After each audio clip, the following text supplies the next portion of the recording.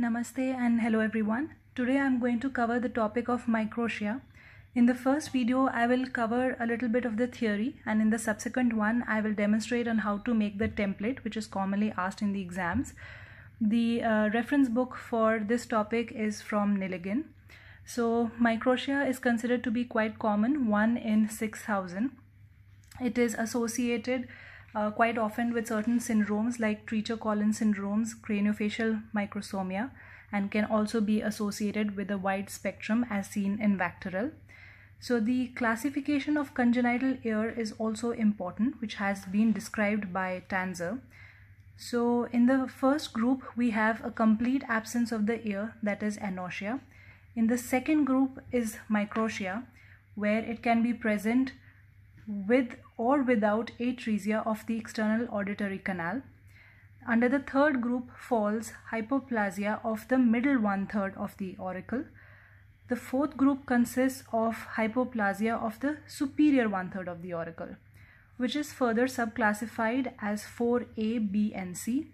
A being a constricted or cup ear or lop ear, B being cryptotia, which is hidden ear, where the superior one third of the auricle stays embedded under the scalp. And in 4C, we have an entire absence of the superior one third of the ear. And number five is the prominent ear, which is also an important topic where ear is concerned. Now, if we come down to microtia, there is further a classification that has been given by Professor Nagata, where there are four subtypes of microtia the commonest one being the lobular type of microtia where a sausage shaped remnant is usually found. Then there is a concha type, a small concha type where mainly there is a hypoplasia of the concha and there can be a complete absence of the ear that is the anotia.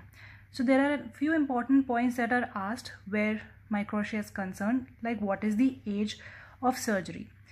So the general consensus is that the child is operated at 7 to 8 years of age. Why? Because around usually this age is where the child's ear, which is if the contralateral ear is also present, assumes almost 90% of its adult size. So for us to recreate the uh, ear which is missing, we have a good template. And we don't usually wait for an adult age to operate because if we are trying to take the uh, costal cartilage framework, calcification starts to occur in the cartilages. Now, uh, what happens in case of uh, bilateral microtia and if there is atresia of the external auditory canal? So, if both the ears are missing, where would you take the template from?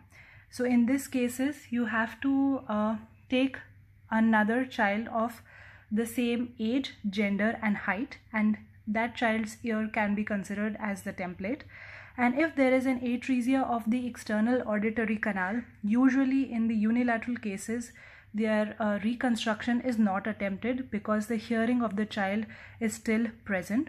However, in bilateral cases, along with the ENT surgeons, the external auditory canal can be attempted to be reconstructed However, first we should go for the microtia reconstruction so that we have a virgin and non-scarred area for the ear and then the EAC can be made.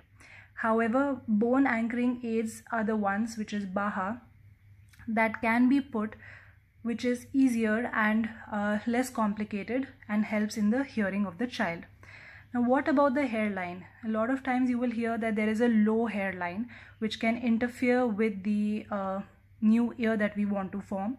So in these cases, the hairline has to be lasered off. So you can usually start the child on laser sessions so that the hairline from that part where we want to make the ear is uh, removed. Or in the olden times, there used to be a scalp roll technique where the area from that scalp used to be rolled up and then the ear reconstructed and then that roll used to be put back into place that is there of historical interest as well. Now the options that we have for ear reconstruction are the most common widely used autologous costochondral cartilage that is framework reconstruction. Then we know we have Medpor implants like polymethyl methacrylate and then there are osteointegrated implants. So now I will explain further about the stages of microtia.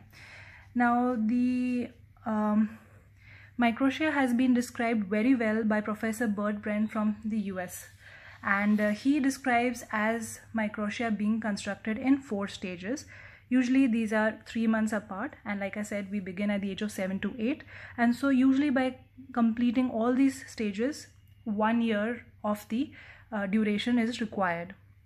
So in the first stage there is the auricular framework insertion in the second stage there is a lobule rotation if there is an existing lobule third is elevation of the entire framework and then fourth is the tragus and the concha reconstruction.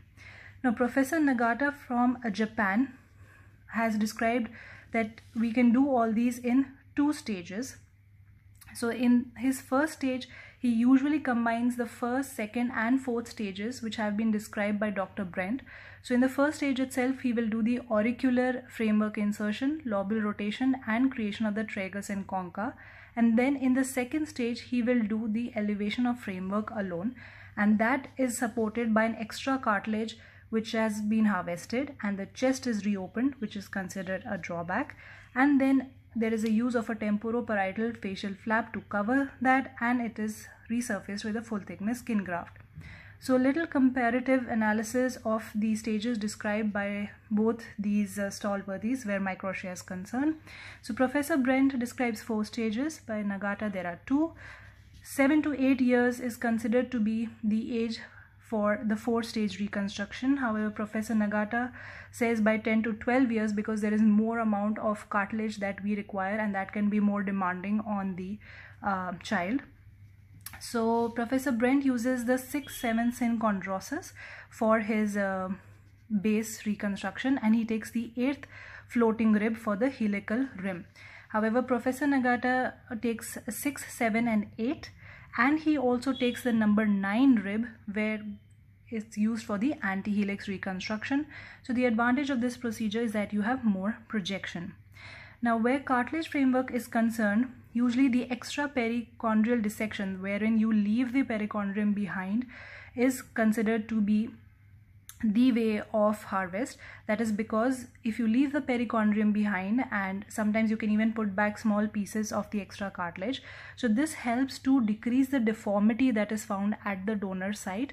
And by this the subsequent rib also grows. Yes i have uh, heard in a lot of webinars and seminars that people have harvested that same rib at least i don't know three four times because the perichondrium perichondrium helps to grow back the rib in that position in this you have to also remember that uh, there can be a pleural breach so in that case what you have to do is um, you have to obviously repair it by inserting an ICD and you start repairing the layers and as soon as you have made like a purse string closure as you pull out the ICD the anesthetist has to give a positive pressure ventilation which helps to close that breach and you repair the pleura. These are all important Viva questions that's why I'm going through them. Uh, post-operatively it's very very important to keep a suction drain. Now the importance here is not just to prevent the hematoma which would obviously spoil the framework but to help maintain the convolutions of the ear the reconstructed ear by the suction device. So this is usually kept at least for a period of five days. All this is very well described in Neligan and you can easily find all this uh, theory over there now, a lot of people also ask where would you take the cartilage from, the right side or the left side. So as a rule, a lot of people take it only from the right side because obviously the left side you're going to uh, be close to the pericardium. And when you take it, usually they say that the contralateral side is preferred. But if you are reconstructing the, suppose the left ear from the right side cartilage, you can just flip it over and you can have the proper orientation. So finally then the incision which will be present will depend on the remnant that you have. So in the lobular type or in the sausage shaped variety you usually have an S shaped incision that is made and you usually do not discard any of the extra skin that you have during your first stage and you save it for the subsequent stages. So this was the discussion about the theory and in my next video I will demonstrate on how to make the template for microtia.